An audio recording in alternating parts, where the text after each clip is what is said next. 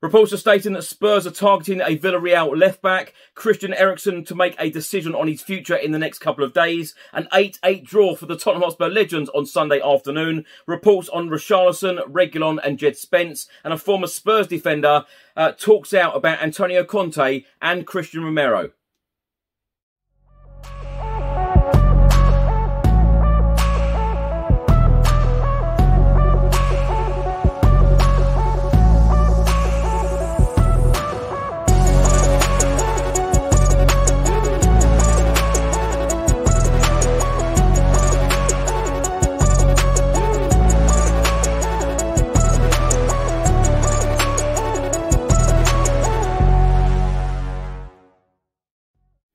Welcome back to the channel. Hope you're all keeping well. This is another edition of Tottenham News where I'll be going through all of the latest Spurs news, rumours and reports. If you're watching this on YouTube, please do hit that subscribe button and also like and share. If you're listening to this on an audio platform, do hit that follow button and leave a review if you can. And please do check out the channel sponsors, One Football, Zooch Converters, William Hill and Live Football on TV.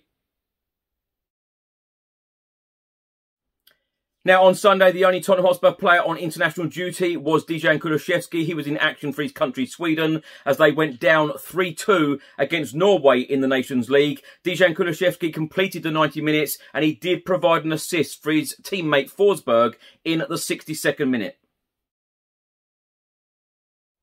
Now, for quite a time now, there has been lots of speculation linking Christian Eriksen back to Spurs for a sensational return to Tottenham Hotspur this summer. Well, Fabrizio Romano, the Italian journalist and transfer expert, has provided an update on the Christian Eriksen situation. He has stated that Brentford have submitted a serious, important personal terms offer to Eriksen, but the player is considering his options with many clubs interested. Eriksen will make his decision on his future in the coming days.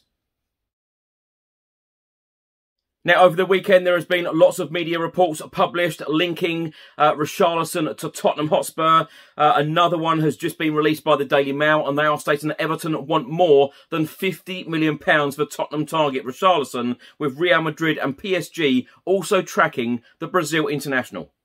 It states that Everton want in excess of £50 million if they are to sell Tottenham target Richarlison this summer. The Brazil international is open to leaving Goodison Park this summer, with Spurs among the teams interested in the forward. Real Madrid and PSG have also been credited with an interest in Richarlison, but sources have indicated that Tottenham are currently the most serious about trying to sign the South American. It then states, however, the Toffees will demand a high price for their forward and will not consider anything less than £50 million. Everton are aware of Tottenham's interest in Richarlison and are open to engaging in further talks with Spurs. Later on in this report from the Daily Mail, it mentions current fullback uh, Sergio Reguilon and Tottenham Hotspur target Jed Spence. It states that Tottenham's left wing back Sergio Reguilon is a target for Barcelona, but the Catalans' own economic issues would make a deal difficult at the moment. Spurs will accelerate their bid to land Middlesbrough right back Jed Spence this month in a deal worth £16 million plus £4 million in add-ons, £20 million in total. Uh, Spence shone on loan at Nottingham Forest last season. Now, a report has just been published by the Daily Express, and they are stating that Tottenham are now targeting second Villarreal signing after Pau Torres swap deal discussions. Tottenham have been in talks with Villarreal over Giovanni Lo Celso and Pau Torres.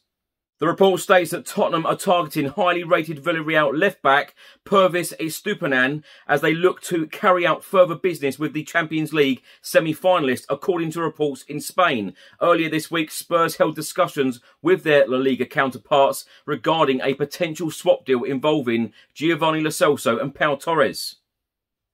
Villarreal are keen to land the Argentinian attacking midfielder on a permanent basis following a successful loan spell in the second half of last season. Talks remain ongoing with Tottenham also keen to explore a potential deal for Spain international defender Torres, who is also a target for Manchester United. Spurs yet to decide whether they will push ahead for Torres, though, in the aftermath of top target Alessandro Bastoni's decision to stay at Inter Milan. And according to Spanish newspaper Marca, Estupinan is also a topic in North London, and the fullback's agent is already working on the deal. The Ecuador international caught the eye in Villarreal's Champions League semi-final second leg against Liverpool when he displayed his pinpoint crossing from the flank. Pervis Estupinan likes to motor up and down the flank and hypothetically would be a great fit for Antonio Conte's left wing-back role. It also states in this report that the La Liga outfit are also looking to raise some cash this summer to make some improvements to their squad after missing out on Champions League football and Europa League football for next season. If Spurs were to clinch a deal, it would not be his first stint in England. The 24-year-old technically spent four seasons with Watford, although he failed to appear for the Hornets following a string of loan spells at various clubs where he really impressed during the 2019-2020 season. His form encouraged Villarreal to make their move and now the Yellow Submarine could be prepared to offload him at the right price. But Tottenham already have a number of options at left wing back, particularly following the signing of Ivan Perisic on a free transfer from Inter Milan.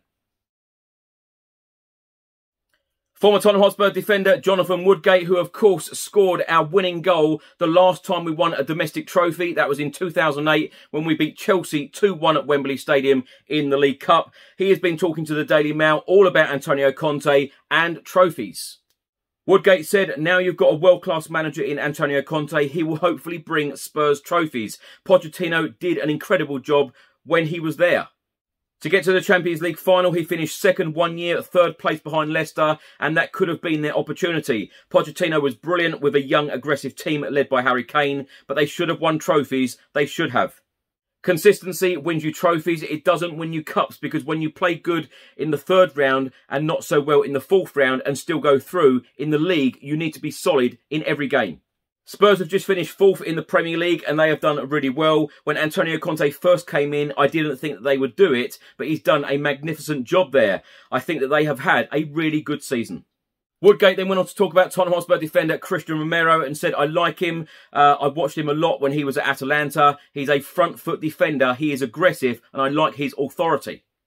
Him and Dier, and you've got Ben Davies on the left-hand side. It brings good balance. Antonio Conte's improved that three so much since the start of the season. What Antonio Conte's done since he's come in is get the fans right back on side. It's only since Maurizio Pochettino that the fans have really been on side with a manager.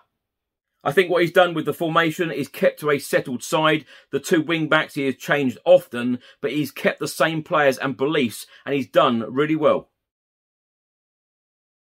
And finally, the Tottenham Hotspur Legends were in action on Sunday afternoon. Uh, the Spurs Legends played at the Gallagher Stadium, the home of Maidstone United Football Club. They took on Waitrose 270 Football Club. It was in aid of two charities, Slide Away and Space to Be Me. And the result ended 8 all.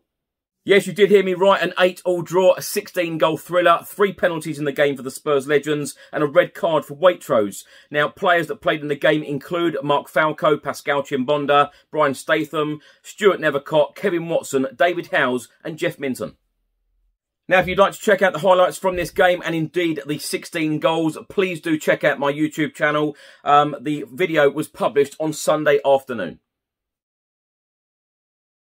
Now, my thoughts on all of these stories in this episode. Let's start with Spurs targeting Villarreal left back uh, Estupinan. Um, I would be very surprised if this deal went ahead, to be honest. We have just signed Ivan Perisic. I know that we are looking for uh, strength in depth as well, um, but I think that Ryan Sessegnon will uh, stay at Spurs beyond the summer, and I wouldn't be at all surprised if Sergio Reguilon was sold. Uh, but I'd be surprised if Spurs brought in another left back at this stage. Um, it's certainly the right side that we are targeting at the moment moment. Jed Spence, um, I think that that deal will probably get done uh, in the very near future. The Christian Eriksen one, I'm hoping that Christian Eriksen does come back to Spurs. I hope that Spurs do offer him a contract and uh, he makes a sensational return to Tottenham Hotspur Football Club. I think that we could uh, we could do with his quality and experience in the side. And, uh, you know, certainly, you know, I've said this hundreds of times on this channel, certainly in the last few weeks. You know, from next season, we can use five subs. And uh, I think Christian Eriksen